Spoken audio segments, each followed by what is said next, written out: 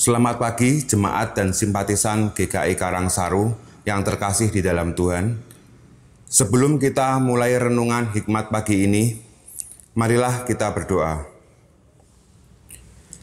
Bapa di surga, pagi ini kami bersyukur masih kau izinkan melihat hari yang baru.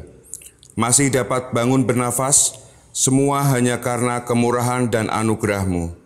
Sebentar kami akan mendengar firman-Mu, Kiranya firman-Mu dapat kami terapkan di kehidupan kami sehari-hari. Di dalam nama Tuhan Yesus Kristus kami berdoa. Amin. Tema hikmat pagi ini, pertolongannya tidak pernah terlambat. Nats diambil dari bilangan 11, ayatnya yang ke-23. Tetapi Tuhan menjawab Musa, Masakan kuasa Tuhan akan kurang untuk melakukan itu? Sekarang engkau akan melihat apakah firmanku terjadi kepadamu atau tidak. Demikianlah firman Tuhan, syukur kepada Allah. Jemaat Tuhan, pertolongan, perlindungan, serta pemeliharaan Tuhan bagi kehidupan orang percaya selalu datang dengan cara yang unik dan ajaib apabila dipikirkan dan dibayangkan secara akal sehat, mungkin tampak mustahil. Namun, begitulah cara Tuhan mengasihi kita, anak-anaknya. Cara Tuhan yang unik dan ajaib dalam menolong dan memelihara umatnya juga dialami secara langsung oleh bangsa Israel. Ketika menempuh perjalanan yang sangat jauh menuju tanah Kanaan, kejenuhan akan menikmati mana setiap hari, membuat bangsa Israel mulai bersungut-sungut kepada Tuhan. Bangsa Israel merasa bahwa memakan mana setiap hari hanya akan membuat tubuh mereka kurus dan kering. Sebagaimana kita baca dalam ayat 6. Oleh sebab itu, bangsa Israel menginginkan ada yang lain selain mana untuk dinikmati, yakni daging.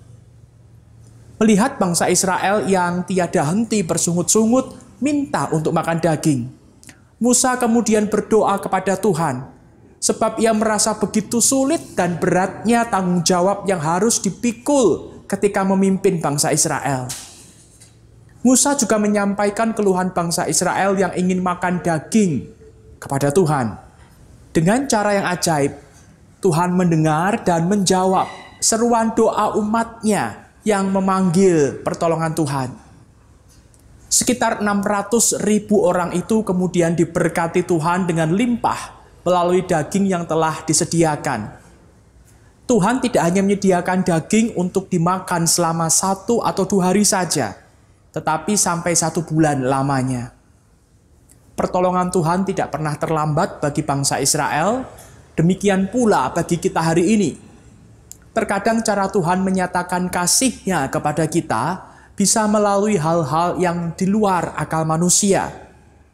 Oleh sebab itu, janganlah kita mengukur kuasa Allah dengan cara pandang manusia.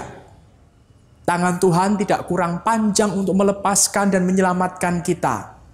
Pendengaran Tuhan tidak kurang tajam untuk mendengar seruan doa kita yang memanggil namanya minta tolong. Dia sanggup untuk melepaskan dan menolong kita. Marilah kita senantiasa menyandarkan hati dan hidup ini sepenuhnya ke dalam tangan Tuhan yang penuh dengan kuasa. Dia adalah Allah yang selalu memenuhi janjinya. Tangan Tuhan tidak pernah terlambat untuk melepaskan dan menyelamatkan umatnya. Mari kita berdoa. Bapa di surga, melalui firman-Mu pada pagi hari ini, Engkau mengingatkan kami ketika kami berdoa minta tolong kepada Tuhan, maka Tuhan tidak akan tinggal diam. Ketika kami terus menantikan pertolongan Tuhan, maka Tuhan akan bertindak. Kami berdoa bagi setiap kami yang saat ini sedang menanti-nantikan pertolongan Tuhan, kiranya Engkau memberikan iman percaya kepada kami agar hanya memohon pertolongan kepada Tuhan dan Tuhan berikan kepada kami kesabaran untuk menantikan pertolongan-Mu nyata atas hidup kami. Inilah kami anak-anak-Mu ya Bapa, yang siap berproses bersama dengan Tuhan untuk selalu menantikan pertolongan-Mu. Di dalam nama Tuhan Yesus kami berdoa. Amin. Selamat pagi, selamat berkarya, Tuhan memberkati.